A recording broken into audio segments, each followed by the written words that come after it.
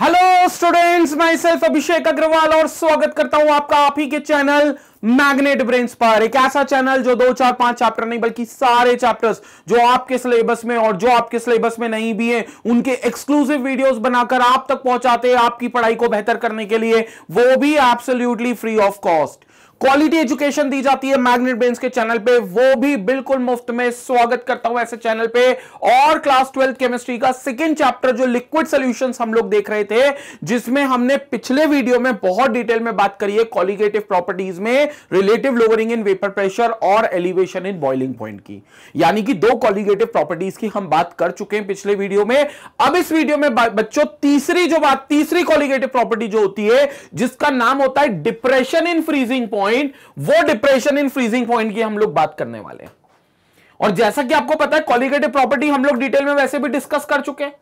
Colligative property आपको बता चुका हूँ कि वो सॉल्यूशन की प्रॉपर्टीज़ जो सल्यूट के नंबर ऑफ़ मोल्स पे डिपेंड करें। मतलब वो से उन प्रॉपर्टीज़ को इस बात से फ़र्क पड़े कि सल्यूट के नंबर ऑफ़ मोल्स कितने हैं। कम है तो प्रॉपर्टीज़ की वैल्यू कुछ अलग आएँगी, और अगर ज़्यादा है तो कुछ और अलग वैल्यूज़ आएँगी तो ऐसी प्रॉपर्टीज़ को हम कॉलिगेटिव प्रॉपर्टी कहते हैं।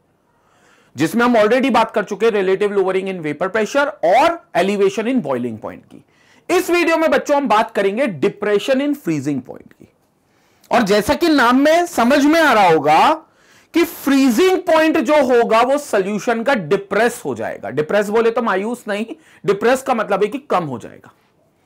जैसे आपको पता है फॉर एग्ज़ाम्पल आपको पता है कि वाटर अगर नॉर्मल कंडीशन पे रखा गया एटमोस्फेरिक कंडीशन पे तो वो ज़ीरो डिग्री सेल्सियस पर फ्रीज होगा। ज़ीरो डिग्री सेल्सियस बोले तो 273 केल्विन पर वाटर फ्रीज हो जाता है क्योंकि उसका फ्रीजिंग पॉइंट है।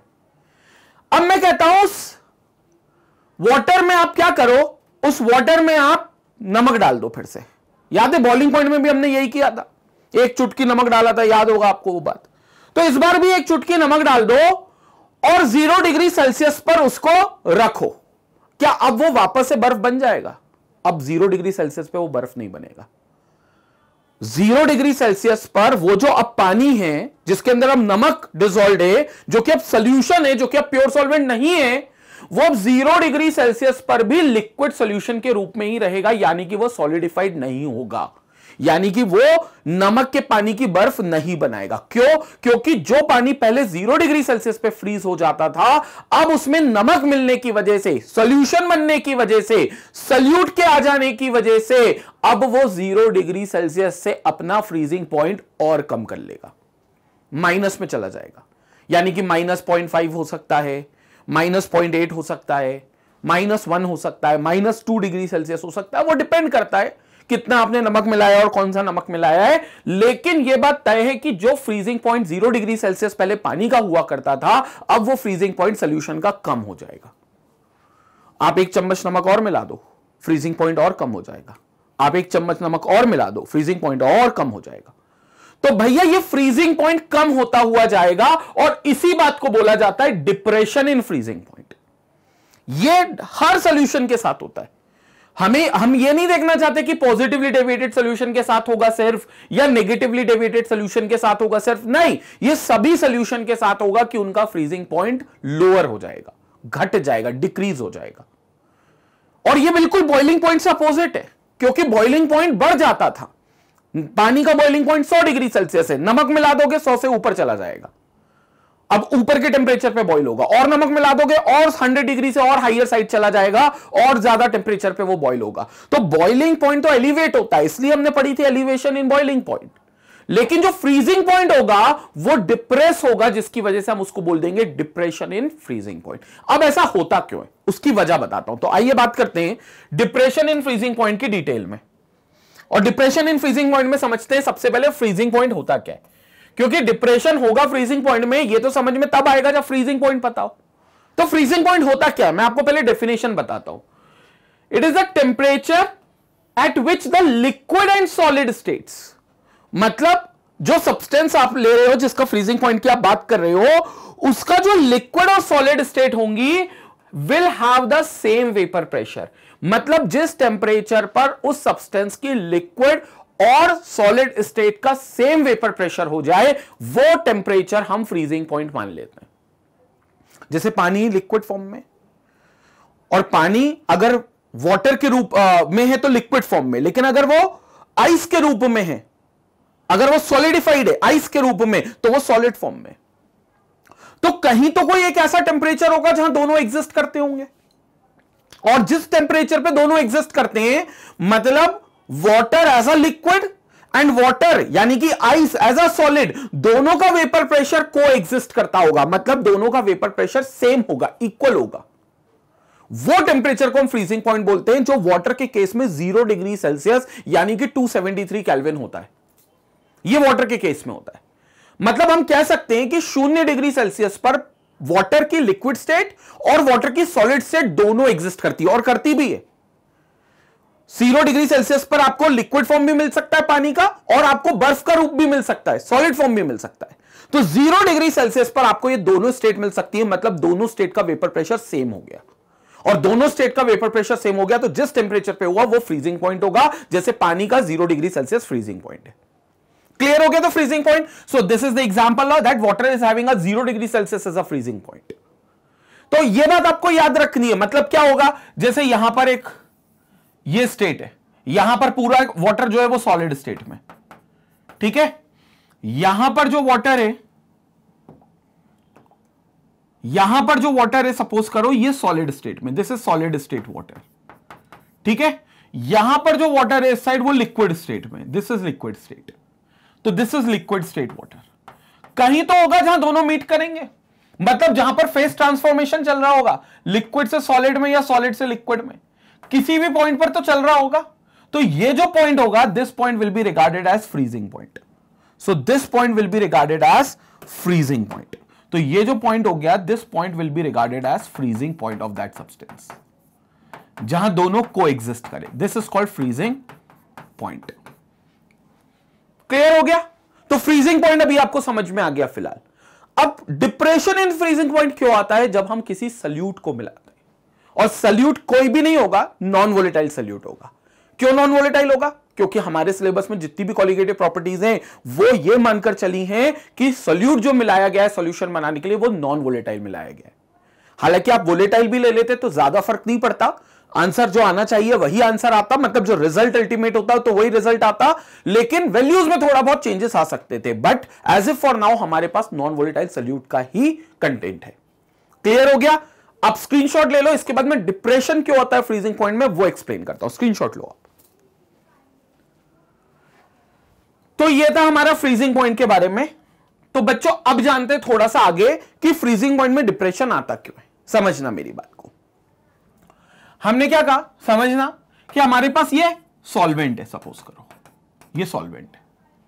ठीक है? अब इस सॉल्वेंट का अपना वेपर प्रेशर होगा। और इस बार इसको हीट नहीं करना। क्योंकि हीट करके तो तुम इसका वेपर प्रेशर बढ़ाओगे। तुमको इसको सॉलिड में लेकर जाना है तो तुम्हें इसके अंदर से हीट निकालनी होगी। मतलब अगर ये सॉल्वेंट है से दिस इज़ सॉल्वेंट ए तो भैया ये सॉल्वेंट ए जो है, ये किसी टेम्परेचर पे होगा जहाँ पर इसका कुछ वेपर प्रेशर होगा अभी। ये किसी टेम्परेचर पे होगा जहाँ पर उसका कुछ वेपर प्रेशर अभी होगा। अब तुम्हें क्या करना है? यहाँ से उसका वेपर प्रेशर बढ़ाना है क्या? बॉइलिंग में तो हमने बढ़ाया था, क्योंकि हम चाहते थे ये बॉइल हो। और बॉइल होकर अपना वेपर प्रेशर इतना बढ़ाए इतना बढ़ाए इतना बढ़ाए कि ये वन एटीएम तक पहुँच जाए। तो हम इसको हीट करते थे। अभी मैं नहीं चाहता कि इसका वेपर प्रेशर बढ़े। अभी तो मैं चाहता हूँ कम हो, बल्कि इस पॉइंट पर जितना वेपर प्रेशर वो दिखा रहा है, अब उससे भी कम हो। क्यों? क्योंकि ये लिक्विड का वेपर प्रेशर है और इसको अगर सॉलिड के वेपर प्रेशर के बराबर जाना है तो इसको पीछे की तरफ़ आना पड़ेगा, यानी कि अपना वेपर प्रेशर कम करना होगा। क्योंकि सॉलिड का वेपर प्रेशर कम होगा, ज़ाहिर सी बात है। तो आप क्या करोगे? इससे हीट निकालोगे। और धीरे धीरे ये क्या हो जाएगा? वेपर प्रेशर कम करता जाएगा और अल्टीमेटली एक पॉइंट आएगा जहाँ पर ये, जहाँ पर ये सॉलिड के वेपर प्रेशर के इक्वल हो जाएगा। जिस टेम्परेचर पे वो हुआ, उसको हम इसका फ्रीजिंग पॉइंट बोल देंगे। कैसे? मैं समझा देता हूँ आपको। अब ये बात मैं आपको ग्राफ के थ्रू समझाता हूँ। तो ये वाली चीज़ जो है, मैं दिस इज़ समथिंग जो मैं ग्राफ प्लॉट कर रहा हूँ। किसके बीच में? This is a graph plotted between किसके बीच में? वेपर प्रेशर एंड टेम्परेचर के बीच में। वेपर प्रेशर एंड टेम्परेचर तो उससे आप और जल्दी समझ जाओगे। This is graph plotted between vapour pressure and temperature ठीक है? तो वेपर प्रेशर एंड टेम्परेचर के बीच का ग्राफ है और इस बात को समझते। तो अभी तो मैंने सिर्फ़ सॉल्वेंट का केस लिया तो सिर्फ़ सॉल्वेंट के लिए समझते हैं, फिर बाद में सोल्यूट ला दूँगा नॉन वोलेटाइल तो ये सोल्यूशन बन जाएगा। तो फिर सोल्यूशन का भी ग्राफ इस पर प्लॉट कर दूँगा कर्व प्लॉट कर दूँगा। तो पहले बात करते हैं किसकी? सिंपल सॉल्वेंट के केस की। और सॉल्वेंट के केस के लिए क्या होने वाला है? ध्यान से देखो यहाँ पर। ये मैंने एक्सेस बना दी। और इस एक्सेस पर मैं ले रहा हूँ वेपर प्रेशर ठीक है? So this is vapour pressure this is vapour pressure and this is temperature यहाँ पर मैं ले रहा हूँ क्या? टेम्परेचर सो so, यहाँ पर हमारे पास क्या है? टेम्परेचर है। अब बात को समझना थोड़ा सा। यहाँ वन एटीएम की लाइन बनाने की ज़रूरत नहीं है। पूछो क्यों? क्योंकि वन एटीएम तक मुझको लेकर ही नहीं जाना। क्योंकि मुझे उबालना थोड़ी ना पिछली बार हमने यहाँ पर वन एटीएम की लाइन बनाई थी। अगर आपको याद हो तो बॉइलिंग पॉइंट में। वो मेरे को बनाना ही नहीं है। क्योंकि मैं नहीं चाहता वो वन एटीएम तक जाए। क्योंकि मुझे बॉइल करना ही नहीं है। मुझे तो इसका वेपर प्रेशर कम करना है उल्टा। ठीक है। और अभी मान लेता हूँ, ये सॉल्वेंट ए है, जो किसी भी टेम्परेचर पे, अभी फ़िलहाल किसी भी टेम्परेचर पे, और अभी फलाना वेपर प्रेशर लेकर चला है। फलाना मतलब कुछ भी वेपर प्रेशर लेकर चला है। तो मैं भैया सॉल्वेंट के लिए बना लेता हूँ, वही कलर का पेन यूज़ करता हूँ जो वहाँ पर यूज़ किया है, और मैं मान लेता हूँ कि भैया ये वेपर प्रेशर है इसका, ठीक है? इस वैल्यू का कोई वेपर प्रेशर है और इस टेम्परेचर पर कुछ है, ठीक है? ना मेरे लिए ये टेम्परेचर इंपॉर्टेंट है और ना मेरे लिए ये वेपर प्रेशर की वैल्यू इंपॉर्टेंट है। बस मैंने तो फलाने टेम्परेचर पे फलाना वेपर प्रेशर मान लिया। फलाना बोले तो कुछ भी, हर कुछ, समझ में आ रहा है? तो ये मैंने कुछ भी वेपर प्रेशर अभी फ़िलहाल के लिए मान लिया किसी पर्टिकुलर टेम्परेचर पे। और ये किसका केस है? ये है सॉल्वेंट का case this is pure solvent का केस ठीक है, यही वाली चीज़ वहाँ पर प्लॉट कर रहा हूँ तो दिस इज़ प्योर सॉल्वेंट का केस अब मैं इसको गर्म नहीं कर रहा हीट नहीं दे रहा, मैं इसको ठंडा कर रहा हूँ। मतलब मैं इसके अंदर से हीट निकाल रहा हूँ। तो मैं इसके अंदर से क्या कर रहा हूँ? हीट बाहर की तरफ़ निकाल रहा हूँ। हीट रिलीज्ड तो मैं इसको ठंडा कर रहा हूँ। इसके द्वारा हीट रिलीज़ हो रही है मतलब मैं इसको ठंडा कर रहा हूँ। जब मैं इसको ठंडा करूँगा तो इसका वेपर प्रेशर क्या होगा? कम होगा कम होगा कम होगा कम होगा कम होगा कम होगा, और ये भैया कम हुआ कम हुआ कम हुआ कम हुआ, और यहाँ तक पहुँच गया। रही बात समझ में? यहाँ तक मैंने रोकी क्यों कहा नहीं क्योंकि वेपर प्रेशर कम हुआ कम हुआ कम हुआ कम हुआ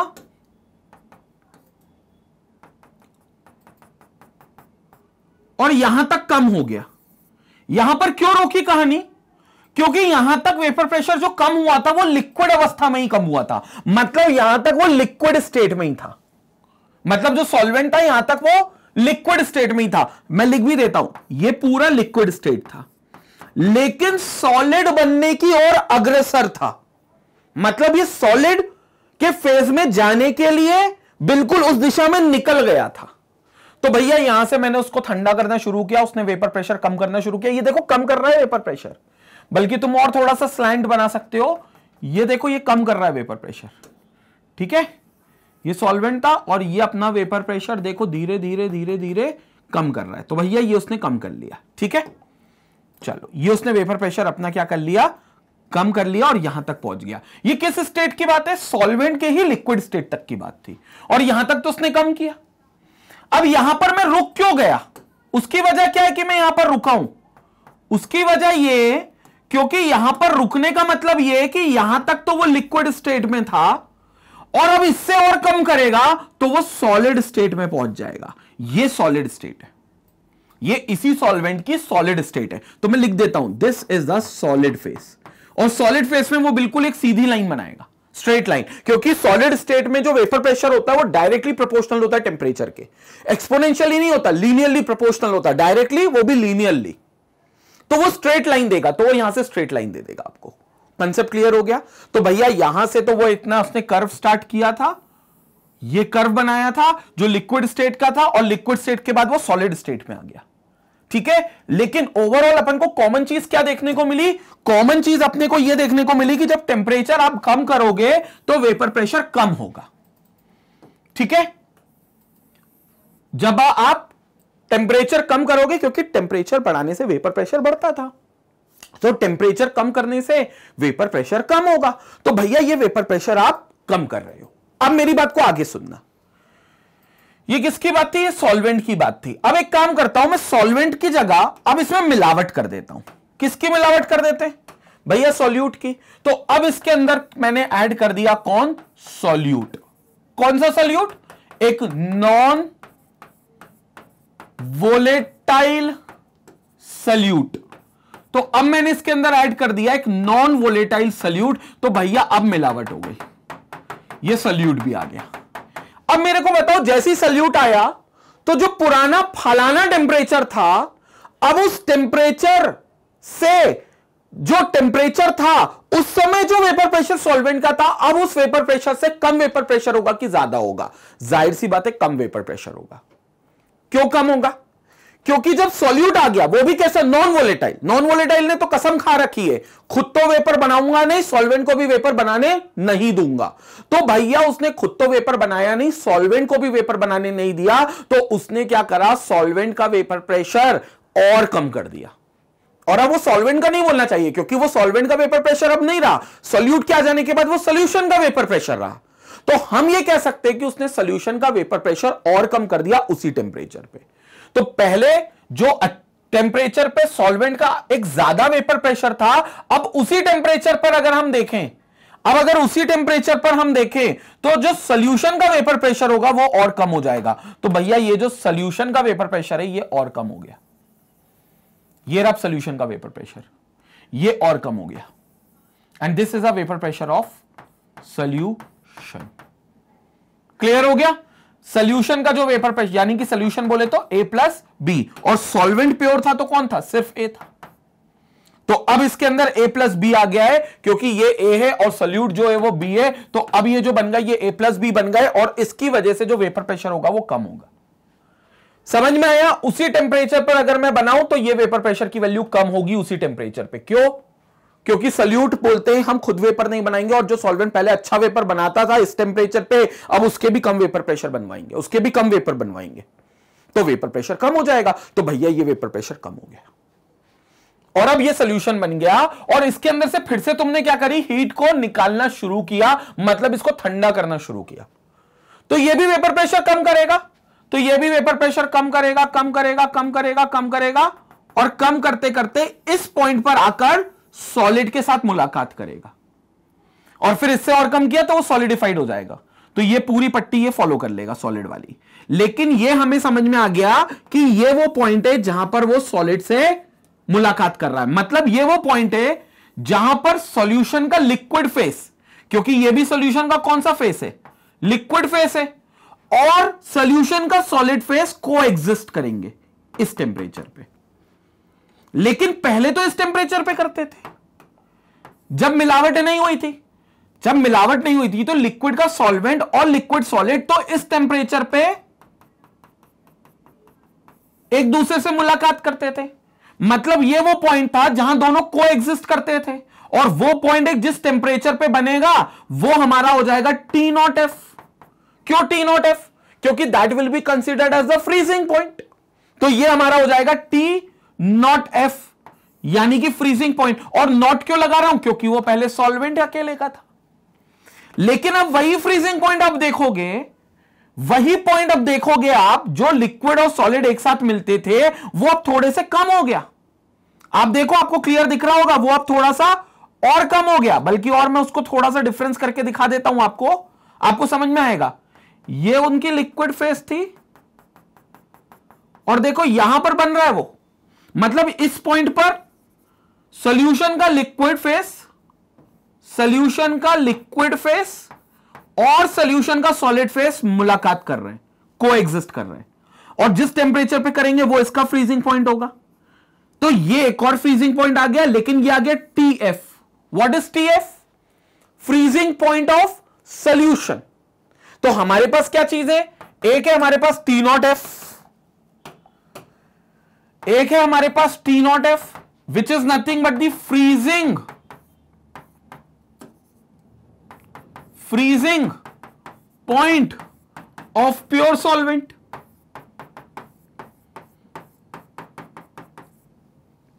और एक है T F which is nothing but freezing point of solution क्योंकि ये वो टेम्परेचर है जिसपे सॉलिड स्टेट और लिक्विड स्टेट दोनों को एग्जिस्ट कर रही हैं।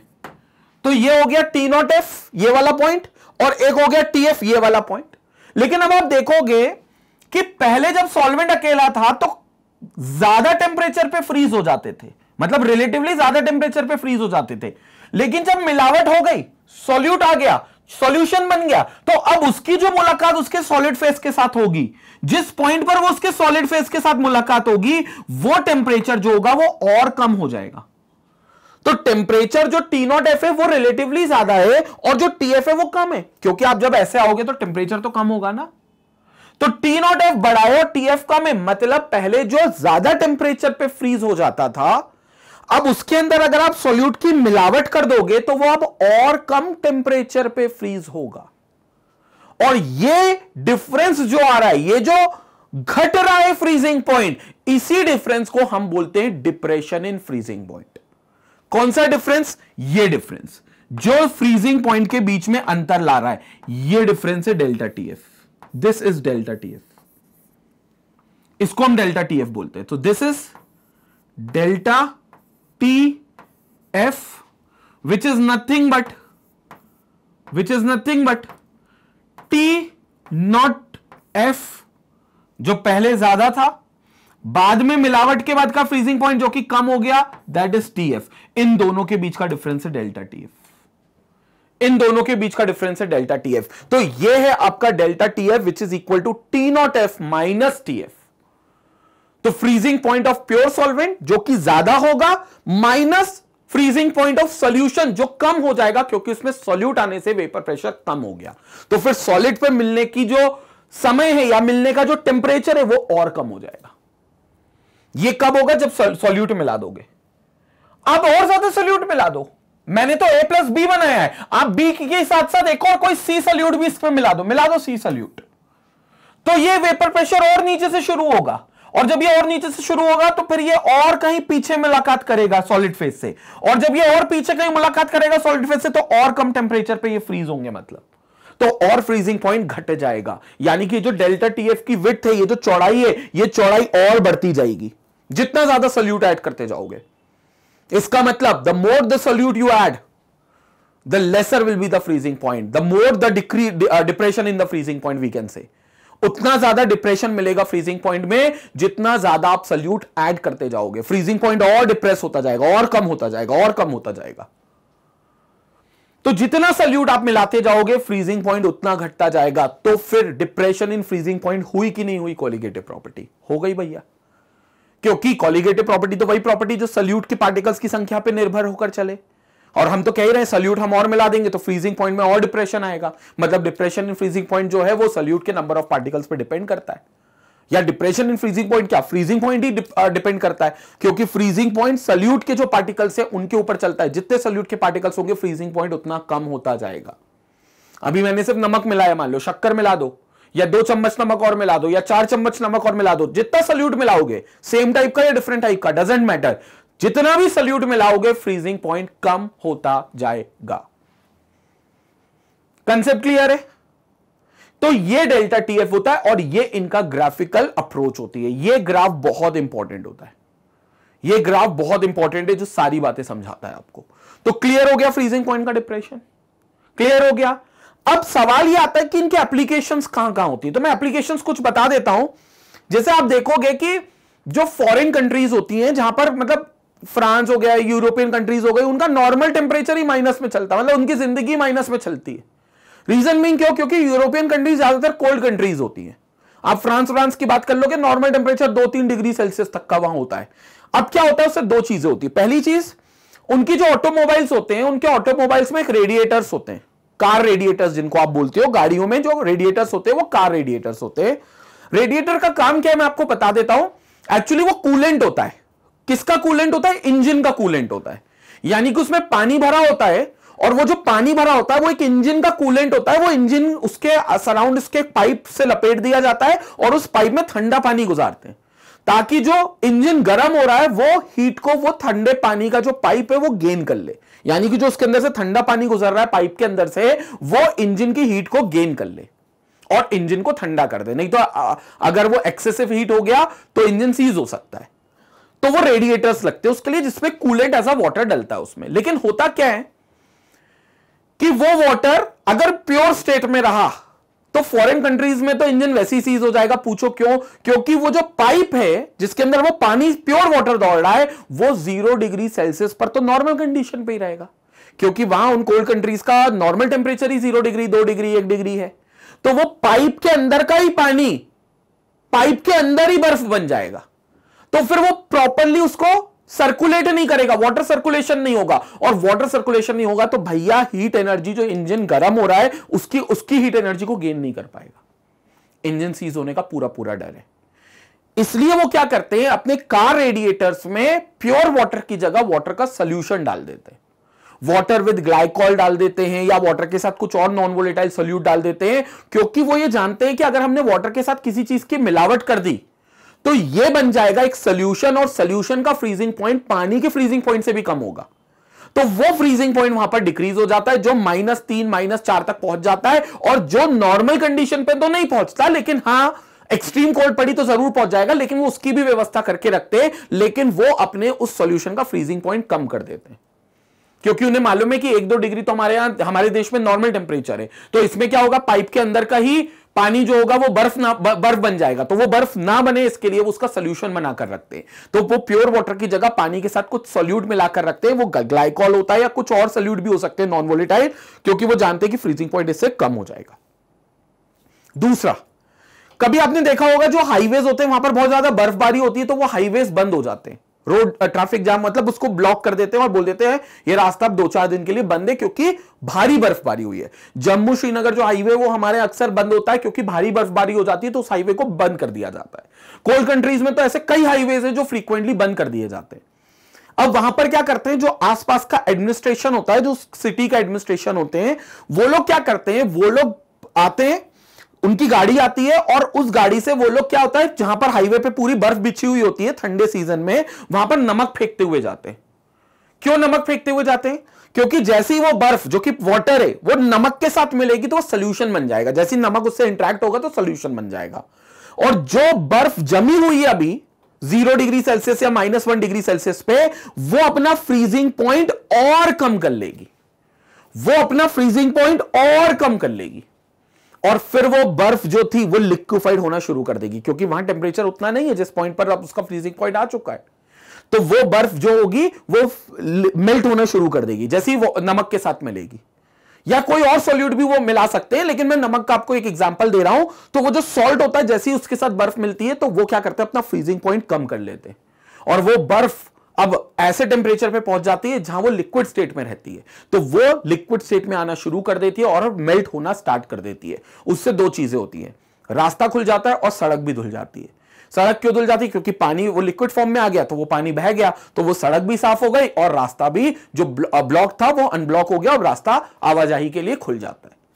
कंसेप्ट समझ में आ रहा है तो ये बहुत इंपॉर्टेंट एप्लीकेशन है डिप्रेशन इन फ्रीजिंग पॉइंट की, और ये बहुत जगह यूज़ होती है। क्योंकि हमें पता है प्योर सॉल्वेंट का जो फ्रीजिंग पॉइंट होता है, अगर उसमें एक सॉल्यूट मिला दो नॉन वोलेटाइल प्रिसाइसली सॉल्यूट मिला दो तो वो अपना फ्रीजिंग पॉइंट और कम कर लेगा, और ज़्यादा कम कर लेगा। क्लियर हो गया? अब वो अगर ज़ीरो डिग्री पे है, जैसे बर्फ़ तो वो माइनस में चले जाएगा उसका फ्रीजिंग पॉइंट क्लियर हो गया? तो ये सारा उसका रीजन था। अब हमें समझना है, ये जो डेल्टा टीएफ है, इसकी मैथमेटिकल एक्सप्रेशन क्या है? मैथमेटिकल इसकी इक्वेशन क्या है? उसको समझते हैं, पहले आप इसका स्क्रीनशॉट ले लो। जल्दी से स्क्रीनशॉट लो, फिर अपन मैथमेटिकल इक्वेशन की बात करते हैं। तो ये हमने देख लिया अभी ग्राफिकल मेथड कि फ्रीजिंग पॉइंट में जो डिप्रेशन होता है, यानी कि डेल्टा टी है, वो ग्राफिकली कितना वैल्यू का आता है? और ये बात भी तय हो गई कि जब सल्यूट और मिलाते जाओगे तो और ज़्यादा सल्यूट आने की वजह से वेपर प्रेशर और कम होगा, और वेपर प्रेशर और कम होगा तो सॉलिड से वो और नीचे मिलेगा। यानी कि वो और कम टेम्परेचर पे मिलेगा और ये जो विथ है डेल्टा टीएफ की, ये और बढ़ती जाएगी क्योंकि डिफरेंस बढ़ता जाएगा। तो डेल्टा टीएफ की जो आपको विथ दिख रही है, वो और चौड़ी होती जाएगी। तो ये साबित करता है कि जो डिप्रेशन इन फ्रीजिंग पॉइंट है, यानी कि डेल्टा टी एफ़ वो आपका एक कॉलिगेटिव प्रॉपर्टी है। अब इसका मैथमेटिकल एक्सप्रेशन क्या है, वो भी समझ लेते हैं, उसकी भी बात कर लेते हैं। तो मैथमेटिकल एक्सप्रेशन भी देख लेते हैं। अब डेल्टा टीएफ को जब हमने कंपेयर किया तो हमने देखा कि भैया जो डेल्टा टीएफ है उसको जब हमने कंपेयर किया तो उसको देखा हमने that delta T F was coming out to be directly proportional to molality मतलब यह भी किसके प्रोपोर्शनल आ रहा है? मोलालिटी के डायरेक्टली प्रोपोर्शनल आ रहा है। मतलब मोल्स ऑफ़ सल्यूट पर केजी ऑफ़ द सॉल्वेंट जितने होंगे, उतना ज़्यादा डेल्टा टीएफ होगा। जैसे कि एलिवेशन इन बॉइलिंग पॉइंट में डेल्टा टीबी था, मोलालिटी के प्रोपोर्शनल वैसे ये भी मोलालिटी के ही डायरेक्टली प्रोपोर्शनल है। यानी कि स्मॉल एम के। तो हम लिख सकते हैं delta T F is directly proportional to M proportionality का साइन ओपन करेंगे तो क्या आएगा? एक कांस्टेंट वहाँ क्या आया था? के बी यहाँ बस आएगा के एफ़ इंटू मोलैलिटी तो ये फाइनल एक्सप्रेशन बनेगा। जहाँ पर के एफ़ क्या होगा? K F will be nothing but it is called molal depression constant वहाँ पर याद है के बी क्या था? मोलाल एलिवेशन कांस्टेंट क्योंकि वो एलिवेशन का बताता था कांस्टेंट ये डिप्रेशन के बारे में बताएगा तो it will be molal depression constant और इसका दूसरा नाम होता है क्रायोस्कोपिक कांस्टेंट तो इसको हम क्रायोस्कोपिक कांस्टेंट बोलते हैं। वो एबिलियोस्कोपिक कांस्टेंट था, ये क्रायोस्कोपिक कांस्टेंट भी इसको बोला जाता है और कॉम्पिटेटिव एग्ज़ाम में यही नाम से आएगा वो क्रायोस्कोपिक तो ये के एफ़ होता है जो कि एक मोलाल डिप्रेशन कांस्टेंट होता है। जैसे के बी था, वैसे ये के एफ़ होगा। क्लियर हो गया? तो ये सारी चीज़ें बहुत इंपॉर्टेंट होती है और ये चीज़ें हमें जानना बहुत ज़्यादा ज़रूरी होती है। तो ये हमारे लिए हो गया मोलाल डिप्रेशन कांस्टेंट और क्रायोस्कोपिक कांस्टेंट अब कई बच्चे पूछते हैं कि, सर के एफ़ की वैल्यू क्या? के एफ़ का क्या डेफिनेशन है? तो के एफ़ की सारी डेफिनेशन मैं बताता हूँ। पहले आप इसका स्क्रीनशॉट ले लो, ठीक है? तो delta T F is equal to K F into molality होगा, और इससे आप निकाल सकते हो किसी का भी डेल्टा टी एफ़ और अगर के एफ़ निकालना चाहते हो तो मैं के एफ़ भी निकाल कर बता दूँगा, जो हो जाएगा delta T F upon molality क्योंकि यहाँ से के एफ़ क्या हो जाएगा? K F will be equal to delta T F divided by molality ठीक है? तो ये टर्म्स भी आपकी यहाँ पर आ जाएँगे।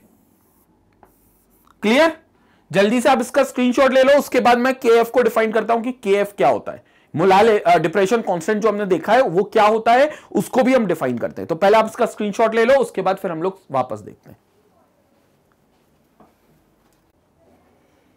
तो अब देखते हैं बच्चों, कि हम केएफ को कैसे डिफाइन कर सकते हैं। मतलब के क्या होता है और के को डिफाइन कैसे करते हैं। उसके लिए सिंपल करते हैं, काम करते हैं। ये वाला पार्ट तो मैं आपको बाद में बताता हूँ। पहले हम देख लेते कि के को हम कैसे डिफाइन कर सकते हैं अपने लेवल पे।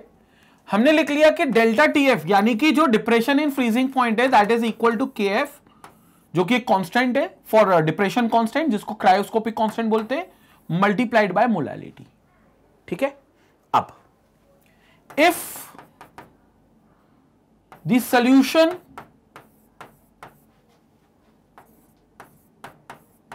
has molality equal to one.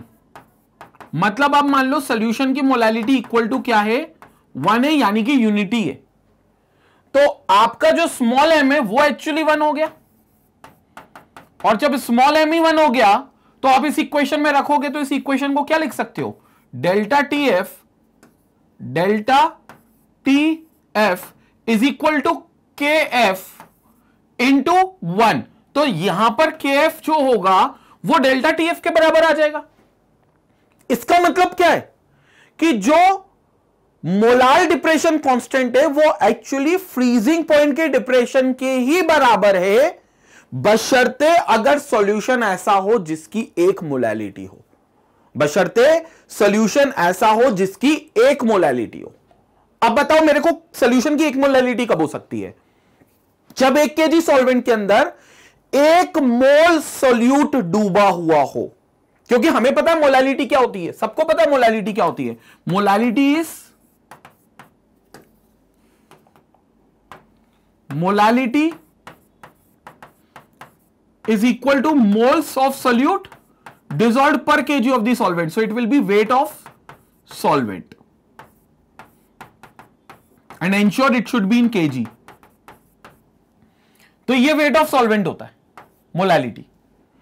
तो molality moles upon weight of solute होगी। अब अगर मोल्स वन है, अगर मोल्स वन है, और सॉल्यूट का वेट भी एक के है तो भैया मोलालिटी वन हो गई कि नहीं हो गई? मोलालिटी वन हो गई। तो एक मोल सल्यूट अगर है, एक केजी सॉल्वेंट के अंदर तो हम कहेंगे मोलालिटी वन है। और उसके लिए जितना भी केफ होगा उस सॉल्वेंट का, उतना ही फ्रीजिंग पॉइंट में डिप्रेशन देखने को मिलेगा। मतलब उस सॉल्वेंट का जितना भी केएफ होगा, उतना ही उसके अंदर आपको फ्रीजिंग पॉइंट में डिप्रेशन देखने को मिलेगा। फॉर एग्ज़ाम्पल मैं आपको एक एग्ज़ाम्पल से समझाता हूँ, तब आपको बहुत क्लियर हो जाएगा। For example K F for water K F for water is 1.86 1.86 अच्छा इसकी यूनिट क्या होगी? पहले मैं यूनिट की बात कर लेता हूँ। Unit of K F will be kelvin KG per mole ये तो सिंपल है। क्यों? क्योंकि के एफ़ को क्या लिख सकते हो? Delta T F upon molality delta T F यानी कि चेंज इन टेम्परेचर जो कैलविन में ही होगा, क्योंकि टेम्परेचर तो कैलविन में ही चलता है। तो कैलविन में ही होगा चेंज भी। और मोलालिटी मोल्स पर केजी ये moles weight of solvent in KG है। तो it will be moles per KG तो kelvin upon moles per KG तो ये पर केजी ऊपर चला जाएगा तो कैलविन के साथ मल्टीप्लाई हो जाएगा तो ये हो जाएगा कैलविन केजी पर मोल ये यूनिट हो गई। सेम यूनिट है केबी की भी ये यूनिट थी कैलविन केजी पर मोल के एफ़ की भी सेम यूनिट है कैलविन केजी पर मोल लेकिन मुद्दा क्या है? पानी का जो के एफ़ है, वो होता है 1.86 कैलविन केजी पर मोल ये मैं आपको फैक्चुअल डेटा दे रहा हूँ। इसको याद भी रखना पड़ेगा आपको, क्योंकि वाटर के केस में जनरली के एफ़ और के बी देते नहीं आपको। के बी मैंने बताया था 0.52 कैलविन केजी पर मोल था। यहाँ के एफ़ कितना आएगा? 1.86 कैलविन केजी पर मोल। अब मैं आपको इसका मतलब बताता हूँ के एफ़ और वाटर 1.86 कैलविन केजी पर मोल है, लेकिन इसका मतलब क्या है? मेरे मत, बात को समझना। अगर मान लो मेरे पास वाटर है, ठीक है? कितना है? वाटर इज़ वन के कोई डाउट तो नहीं है? पहले भी बोल चुका हूँ, मेरे पास ये वाटर वन के हो सकता है।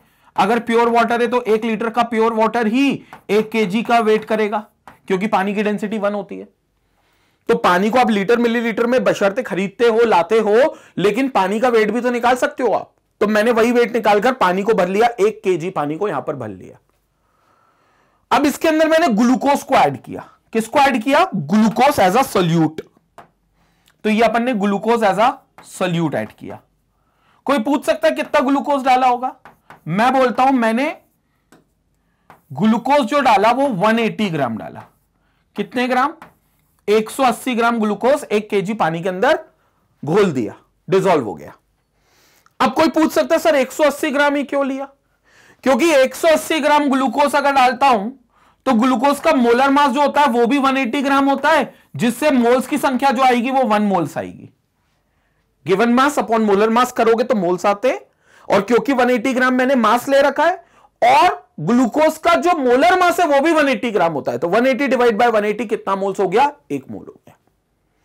अब ये एक मोल ग्लूकोज है मेरे पास। ग्लूकोज है C six H twelve O six और ये एक मोल ग्लूकोज डूबा पड़ा है एक केजी पानी के अंदर। तो मैं कह सकता हूँ मोलालिटी वन हो गई। मतलब इस सोल्यूशन की अगर कोई पूछ से पूछे, मोलालिटी तो मोलालिटी वन हो गई। ठीक है? अब मेरे को बताओ, जब प्योर पानी था, तब फ्रीजिंग पॉइंट कितना होना चाहिए था? याद है प्योर वाटर का फ्रीजिंग पॉइंट हाँ सर, याद है। It freezing point pure water का होता है ज़ीरो डिग्री सेल्सियस बिल्कुल सही। प्योर वाटर का जो फ्रीजिंग पॉइंट है that is zero degree Celsius और वी कैन से 273 केल्विन लेकिन जब अब ये सॉल्यूशन बन चुका है, जब इसके अंदर ग्लूकोज आ चुका है, वो भी कितना? एक मोल ग्लूकोस आ चुका है। तो भैया, इस एक मोल के ग्लूकोज आने की वजह से अब जो फ्रीजिंग पॉइंट होगा, वो कम हो गया होगा। लेकिन मैं बताऊँ कितना हो गया होगा? क्योंकि मोलालिटी वन है तो जो के एफ़ होगा इस वाटर का, उतना ही उसका फ्रीजिंग पॉइंट कम हुआ होगा। मतलब इसमें फ्रीजिंग पॉइंट कितना कम हुआ होगा, वो मैं बता देता हूँ। फ्रीजिंग पॉइंट कम हुआ होगा 1.86 पूछो क्यों? क्योंकि 1.86 जो है, वही हमारे पास क्या है? कैलविन केजी पर मोल में फ्रीजिंग पॉइंट और के एफ़ की वैल्यू है। तो 1.86 कैलविन जो आएगा 1.86 कैलविन जो आएगा, वही फ्रीजिंग पॉइंट में डिप्रेशन आएगा। यानी कि अब जो सोल्यूशन का फ्रीजिंग पॉइंट है, अब जो सोल्यूशन का फ्रीजिंग पॉइंट है, वो सोल्यूशन का फ्रीजिंग पॉइंट सोल्यूशन का freezing point will be now equal to 273 minus 1.86 तो आप 273 में से माइनस 1.86 कर लेंगे। तो आपका आंसर आएगा लगभग 272.14 ये आपका फ्रीजिंग पॉइंट हो जाएगा। क्लियर हो गया? 273 में से 1.271.14 माय मिस्टेक सो 271.14 का जो फ्रीजिंग पॉइंट आएगा अब ये आपका फ्रीजिंग पॉइंट हो जाएगा। मतलब अब देखो जो पानी 273 पर फ्रीज हो, जा, हो जाता था वो अब 1.86 केल्विन और नीचे फ्रीज होगा। मतलब वो और 1.86 केल्विन नीचे फ्रीज होगा। और 1.86 273 में से माइनस करेंगे तो 272 में तो वन आ गया और 0.86 माइनस करना है तो 271.14 बचेगा। तो 271.14 केल्विन पर अब वो फ्रीज होगा। अगर बस 180 ग्राम ग्लूकोज डाल दोगे तो। अंतर देख रहे हो? ये होता है के का मतलब। के का मतलब यह है कि भैया, अगर मोलालिटी एक है तो जितनी मोलालिटी एक होने की वजह से जो जो फ्रीजिंग पॉइंट में डिप्रेशन होगा, वो उस सॉल्वेंट के के के इक्वल आएगा। और पानी का, क्योंकि के एफ़ 1.86 कैल्विन के जी पर मोल है तो उसके अंदर जो फ्रीजिंग पॉइंट में डिप्रेशन आएगा, वो भी 1.86 कैल्विन ही आएगा। यानी कि जो पानी पहले 273 कैल्विन पे फ्रीज हो जाता था, अब वो 271.14 कैल्विन पे फ्रीज होगा। क्लियर हो गई बात? क्लियर हो गई? ये होता है के का मतलब। अब कई लोग बोलेंगे, सर के मान लो कि एक मोलाइलिटी नहीं होती, दो होती। तो फिर फ्रीजिंग पॉइंट का डिप्रेशन इंटू टू आता। क्योंकि दो मोल से पर केजी ऑफ़ दी सॉल्वेंट मतलब मोलाइलिटी टू है। तो फिर के जो का डबल करते उतना फ्रीजिंग पॉइंट में डिप्रेशन आता। सर, अगर ऐसा सोल्यूशन है जिसकी मोलालिटी पाँच है, पाँच moles per KG of the solvent है तो फिर के का मल्टीप्लाई बाय पाँच करना और फिर जो डिफरेंस आएगा, वो आएगा डेल्टा टीएफ मतलब जो डेल्टा टीएफ है, फिर वो के मल्टीप्लाई बाय पाँच करके आएगा। सर, दस मोल से तो इंटू टेन का डिफरेंस आएगा। इसलिए हमने बोल दिया, हमें मोलालिटी अभी नहीं पता तो हम बोल देते हैं इंटू एम तभी जाकर ये फॉर्मूला बनता है delta TF is equal to K F into M क्योंकि हमें मोलालिटी अभी भी नहीं पता। तो अगर पता चल जाएगी तो हम एम की जगह वो मोलालिटी रख देंगे, और एल्स हम मोलालिटी को मल्टीप्लाई करके चलेंगे। क्लियर हो गया? तो ये चीज़ों का डिफरेंस होता है और ये होता है के को सही ढंग से समझना। कई बच्चे सिर्फ़ रट लेते हैं कि के जो कुछ नहीं है। If the solution has molality equal to one then whatever is the change in freezing point is equal to molal depression constant तो ये चीज़ गलत है। मतलब है तो सही स्टेटमेंट लेकिन रेक्टाफिकेशन गलत है। आपको इसका मतलब समझना पड़ेगा कि ये कहना क्या चाहता है के तो ये के है। और पानी का के एफ़ होता है। बच्चों, ये याद रखना पड़ेगा आपको। पानी के लिए जनरली वो देते नहीं है। ठीक है? दे दे तो अच्छी बात है बट बाकी और कोई सॉल्वेंट हुआ तो फिर वो देंगे। सबके हम याद नहीं रख सकते के और के सिर्फ़ वाटर का याद रखना है। क्लियर हो गया? जल्दी से इसका स्क्रीनशॉट लेंगे, फिर कुछ थर्मोडाइनमिकल इक्वेशन देखते हैं कि भैया कैसे हम के को और निकाल सकते हैं थर्मोडाइनमिकली पहले आप इसका स्क्रीनशॉट ले लो जल्दी। तो बच्चों, ये हो गया हमारा के एफ़ अब थर्मोडाइनमिकली क्या कहते हैं? मोलाल डिप्रेशन कांस्टेंट को थर्मोडाइनमिक के हिसाब से भी निकाला जा सकता है, जो कि K F is equal to M R M into R into T not F का square upon thousand into delta H of F यहाँ पर एम का मतलब क्या है? सबसे पहले M is molecular mass of the solvent मतलब जिस सॉल्वेंट का आप निकाल रहे हो के एफ़ जिस सॉल्वेंट क्योंकि हर सॉल्वेंट का अलग अलग होता है तो उसका मॉलिकुलर मास ठीक है? जो आप उसको ग्राम में भी लिख सकते हो तो ग्राम मॉलिकुलर मास हो जाएगा, जिसको आप मोलर मास भी बोलते हो। आर सबके लिए सेम है गैस कांस्टेंट है 8.314 जूल पर कैल्विन पर मोल ये सबके लिए कांस्टेंट है। टी नॉट एफ़ का square is the is the freezing point of the pure solvent T not F मतलब फ्रीजिंग पॉइंट है उस प्योर सॉल्वेंट का। जैसे आप वाटर का निकाल रहे हो तो यहाँ पर 273 केल्विन का स्क्वायर कर दोगे। क्योंकि 273 का स्क्वायर 273 केल्विन और याद रखना आपको केल्विन में लिखना है। क्योंकि टेम्परेचर की स्टैंडर्ड यूनिट कैलविन में and delta H F is molar enthalpy of fusion of solvent यानी कि ये एंथैल्पी ऑफ़ फ्यूजन है। मतलब कितनी हीट एनर्जी देकर जो फ्यूजन होगा प्रोसेस वो स्टार्ट हो सकता है। मतलब जैसे वाटर के लिए ले रहे हो तो वाटर का जो आइस है, वो कितनी एनर्जी लेकर अपना फेस ट्रांसफॉर्म कर लेगा फेस चेंज कर लेगा। यानी कि सॉलिड से लिक्विड में कन्वर्ट हो जाएगा। तो कितनी एनर्जी लेकर कन्वर्ट होगा, यहाँ पर वो एनर्जी की वैल्यू लिखोगे आप। और वो भी एक मोल आइस को लेकर अगर आप बात कर रहे हो तो। तो मोलार एंथेल्पी बोलते हैं उसको तो आपको मोलार एंथेल्पी की हम वैल्यू लिखनी होगी। So it is the amount of energy required to change one mole of ice into one mole of water. तो that is called molar enthalpy of fusion for water और किसी और solvent की बात कर रहे हो तो उस सॉल्वेंट के लिए भी वही एक मोल उसका सॉलिड में से एक मोल लिक्विड में जिस एनर्जी के गेन करने पर कन्वर्ट हो सकता है, वो एनर्जी आपको यहाँ लिखनी है। क्लियर हो गया। तो ये इक्वेशन भी बहुत इंपॉर्टेंट है। इस पर भी कई बार कॉम्पिटेटिव एग्ज़ाम में सवाल आते हैं। तो ये K F is equal to M R T not F का square upon thousand into delta H F compare कर लो तो बहुत ज़्यादा अंतर नहीं है। के बी भी कुछ ऐसे ही था, याद हो तो। यहाँ पर भी एम था इंटू आर था। यहाँ पर बस टी नॉट बी का स्क्वायर था। क्योंकि बॉइलिंग पॉइंट का स्क्वायर होगा यहाँ पर। यहाँ पर फ्रीजिंग पॉइंट का स्क्वायर है, यहाँ बॉइलिंग पॉइंट का स्क्वायर होगा। डिवाइडेड बाय थाउज़ेंड तो वहाँ पर भी था, यहाँ पर भी है। इंटू वहाँ पर डेल्टा एच जो था, वो वेपराइजेशन वाला था। मतलब कितनी हीट दोगे आप लिक्विड सॉल्वेंट के एक मोल को, ताकि वो एक मोल का गैस फॉर्म में चला जाए। एक मोल गैस फॉर्म में चली जाए। तो वो मोलार एंथैल्पी ऑफ़ वेपराइजेशन यहाँ होगा। यहाँ पर वही मोलार एंथैल्पी ऑफ़ फ्यूजन है, बस इतना अंतर है। बाकी दोनों की थर्मोडायनेमिकल इक्वेशन बिल्कुल सेम है। तो के एफ़ के बी आपको एक याद रख लो, आपको दोनों काम हो जाएँगे। इंपॉर्टेंट इनको याद रखना नहीं है इंपॉर्टेंट इनको अप्लाई करना है, क्योंकि कॉम्पिटेटिव एग्ज़ाम में इन पर सीधा क्वेश्चन आता है। ठीक है? स्क्रीनशॉट लेंगे, इसके बाद फिर हम लोग और आगे बात करते हैं। स्क्रीनशॉट लीजिए आप।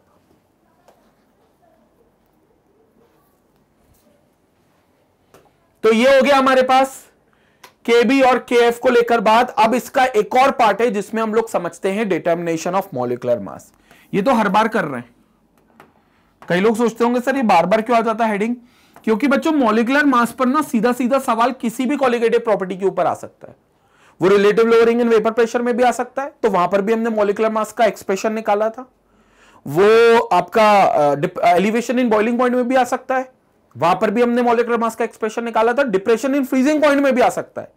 तो यहाँ पर भी एमबी का एक्सप्रेशन निकालेंगे और अगली एक और बची है fourth colligative property osmotic pressure उसमें भी आ सकता है।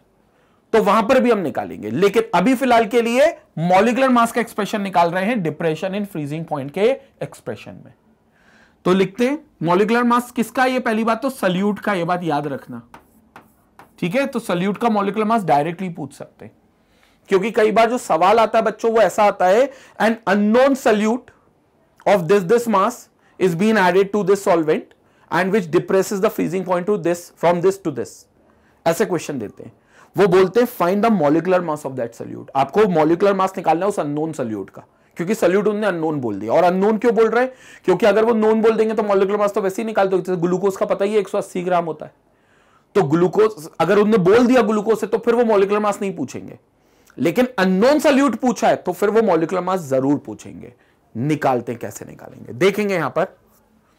तो मॉलिकुलर मास सल्यूट का पहले तो हम एक्सप्रेशन लिख लेते हैं delta T F was equal to K F into molality अब बच्चों मोलालिटी आपको पता है? मोलालिटी याद है? It is moles moles upon weight of solvent in KG यही होता है। मोल्स को और खोल के लिख सकते क्या? Given weight upon molar weight तो molality will be equal to moles मतलब गिवन वेट गिवन वेट किसके? सॉल्यूट के.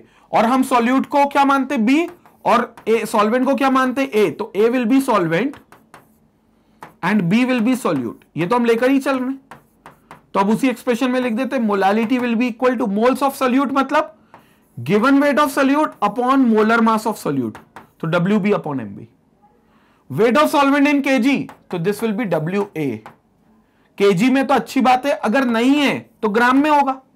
तो ग्राम से केजी में कन्वर्ट करना पड़ेगा तो डिवाइड बाय थाउज़ेंड करना पड़ेगा। वो डिवाइड बाय थाउज़ेंड ऊपर चला जाएगा तो मल्टीप्लाई बाय थाउज़ेंड हो जाएगा। So this will be multiply by thousand ये बन गया मोलालिटी का एक्सप्रेशन तो ये हो गया ए आपका सॉल्वेंट और बी सल्यूट तो ये आपका एक्सप्रेशन आ गया मोलालिटी का। कुछ नहीं करो, इसमें रख दो इसका एक्सप्रेशन को। तो देखो यहाँ पर। Delta TF will be equal to KF into WB into 1000 upon M B into W ensure की डब्ल्यू इस बार ग्राम में हो, क्योंकि ऊपर थाउज़ेंड आप लिख चुके हो। किसके एक्सप्रेशन निकालना निकालने एमबी का निकालना है, क्योंकि यही तो मॉलिकुलर मास है सल्यूट का। तो आप एमबी को यहाँ ले जाओ, बाकी सब यहाँ ले आओ। तो क्या बचा? MB will be equal to K F into W B into thousand divided by delta T F into W A which is in gram खत्म बात। तो ये आपका एक्सप्रेशन आ गया। ये आपका एक्सप्रेशन आ गया। दैट्स इट समझ आया? तो क्या एक्सप्रेशन आ गया? M B is equal to K F K F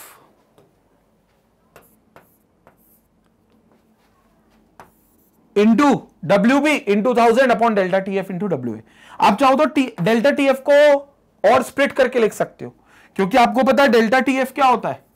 Delta T F will be equal to T not F freezing point of pure solvent minus T F freezing point of solution यही होता है। तो आप और इसको open करके लिख सकते हो तो एक और एक्सप्रेशन बन जाएगा। एक और एक्सप्रेशन मैं यहाँ लिख देता हूँ। क्या आ गया? M B will be equal to K F K F into W B into thousand divided by delta T F sorry delta T F की जगह हमको क्या लिखना है? T not F minus T F into W A in grams तो ये formula भी आप लिख सकते हो। क्लियर हो गया? तो ये दोनों एक्सप्रेशन आपके एमबी के एक्सप्रेशन हो गए। एमबी बोले तो मॉलिकुलर मास ऑफ़ सॉल्यूट अब चाहो तो आप डिराइव कर सकते हो। जैसे मैंने ऐसा डिराइव किया, आप डिराइव वहाँ पर एग्ज़ाम में भी कर सकते हो। बट क्या होता है? कॉम्पिटेटिव एग्ज़ाम में हमारी लड़ाई समय के साथ चलती है। तो इसमें समय जाया होगा। इससे अच्छा ये हमें याद हो जाए, याद रहेगा तो बहुत आसानी है। और एमबी सिर्फ़ एक का याद रख लो डिप्रेशन इन फ्रीजिंग पॉइंट में या फिर एलिवेशन इन बॉइलिंग पॉइंट में, लगभग सेम है। बस अंतर क्या है? एलिवेशन इन बॉइलिंग पॉइंट में क्या आता है एमबी यहाँ के भी होता है। बाकी सब चीज़ें सेम होती है। यहाँ डेल्टा टी एफ़ की जगह डेल्टा टी बी होगा, यानी कि T not B minus T B into W A बाकी सब कुछ सेम है। बस यहाँ पर टी एफ़ की जगह टी बी होगा के एफ़ की जगह के बी होगा। एम बी दोनों के लिए सेम आएगा, और कोई अंतर नहीं है। तो ये मॉलिकुलर मास क्योंकि सीधा आपको मॉलिकुलर मास पर अगर सवाल आ गया तो ये फॉर्मूला डायरेक्ट रख सकते हो, अगर याद है तो। नहीं याद है तो डिराइव भी कर सकते हो। बट फिर आप टाइम से थोड़ा सा देख लेना, क्योंकि इसमें थोड़ा सा टाइम लग सकता है। क्लियर हो गया बच्चों? जल्दी से इसका स्क्रीनशॉट लेंगे। यहाँ पर हमारा determination of molecular mass complete होता है। स्क्रीनशॉट के बाद हम वीडियो कंक्लूड करते हैं। जल्दी स्क्रीनशॉट लीजिए।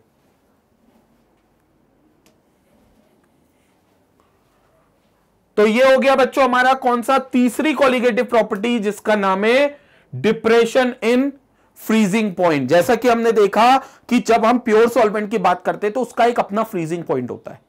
वो एक पर्टिकुलर पॉइंट टेम्परेचर पर आकर अपना वेपर प्रेशर लिक्विड स्टेट का सॉलिड स्टेट के वेपर प्रेशर के इक्वल कर लेता है। और उस टेम्परेचर को हम फ्रीजिंग पॉइंट बोलते हैं और हर सॉल्वेंट का अपना फ्रीजिंग पॉइंट होता है। लेकिन जैसे उसमें कोई नॉन वोलेटाइल सल्यूट मिला दिया जाए, जैसे कि नमक मिला दो पानी के अंदर तो अब जो फ्रीजिंग पॉइंट पहले पानी का था, जो कि प्योर सॉल्वेंट था, अब उसका फ्रीजिंग पॉइंट में कमी आ जाएगी।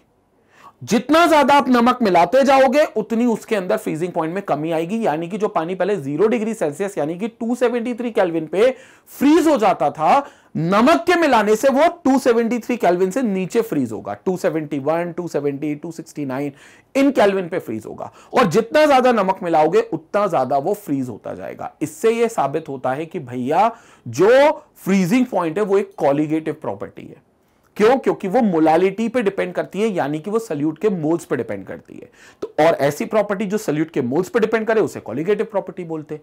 इसलिए डिप्रेशन इन फ्रीजिंग पॉइंट भी एलिवेशन इन बॉइलिंग पॉइंट की तरह एक कॉलिगेटिव प्रॉपर्टी मानी गई है। और इसके कई एप्लीकेशन है। कोल्ड कंट्रीज़ में कार रेडिएटर्स में हम प्योर वाटर की जगह सॉल्यूशन बनाकर रखते हैं, ताकि वो ठंड के मौसम में वहाँ रेडिएटर के अंदर का पानी बर्फ़ ना बन जाए, जिससे इंजन सीज हो सकता है, वो चीज़ ना हो। दूसरा हाईवेज में जो बर्फबारी होती है, कई बार उस पर नमक फेंका जाता है, इसलिए फेंका जाता है ताकि वो जैसे ही नमक के साथ मिले तो सोल्यूशन बन जाए फ्रीजिंग पॉइंट कम हो जाए और वो बर्फ़ जो हाईवे पर बिछी हुई है, जिससे हाईवे जाम है, उसको हटाया जा सके, वो हट जाए आसानी से, क्योंकि वो पिघल जाएगी बर्फ़ और मेल्ट होकर वो लिक्विड फॉर्म में बह जाएगी। तो हाईवेज अनब्लॉक्ड होंगे। तो ये सारी एप्लीकेशन है फ्रीजिंग पॉइंट की, जो हमने देखी।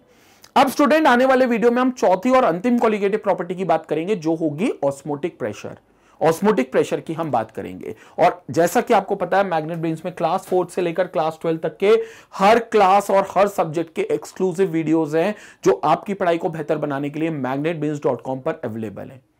आपको सिर्फ़ मैग्नेटबेस.com पर जाना है। वहाँ जाकर इन सारे वीडियोस की एक प्रॉपर प्लेलिस्ट बनी है, जिनको आप एक्सेस कर सकते हो और वहीं से इनसे जुड़े हुए नोट्स को भी डाउनलोड कर सकते हो। Thank you for watching us. Stay connected, stay educated, take care.